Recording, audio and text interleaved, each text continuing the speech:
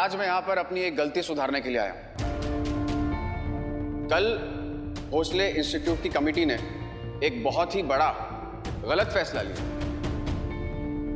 हमने मिस सभी चौहान को इस कॉलेज से रेस्टिकेट कर दिया, क्योंकि उसके आंसर शीट्स में से हमें एक चिट मिली थी।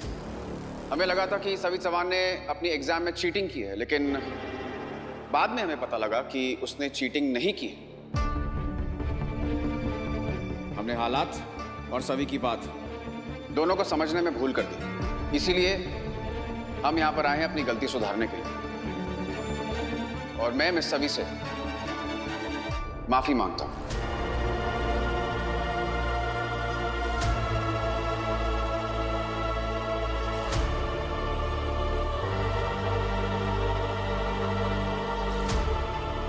ये क्या कह रहे हैं सर आप?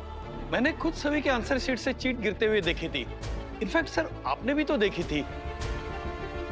हाँ देखी थी। इनफैक्ट मैंने सभी के आंसर शीट्स भी देखे थे। सभी के आंसर्स और उस चिट के आंसर्स में से कोई भी सिमिलैरिटी नहीं थे। बिल्कुल अलग अलग थे इनफैक्ट मैं तो ये कहना चाहूँगा कि सभी ने इतने अच्छे आंसर्स लिखे थे कि मैं हाईली इंप्रेस्ड हो गया।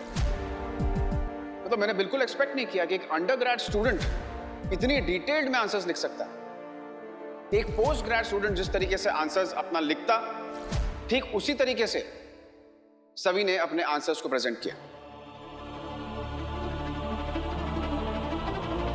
और सभी ने अपने आप को साबित कर दिया कि वो बहुत ही ब्रिलियंट स्टूडेंट है। और मैं पूरे भोसले इंस्टीट्यूट की तरफ़ से सभी को कॉन्ग्रेचुलेट करता हूँ for outstanding performance in the exam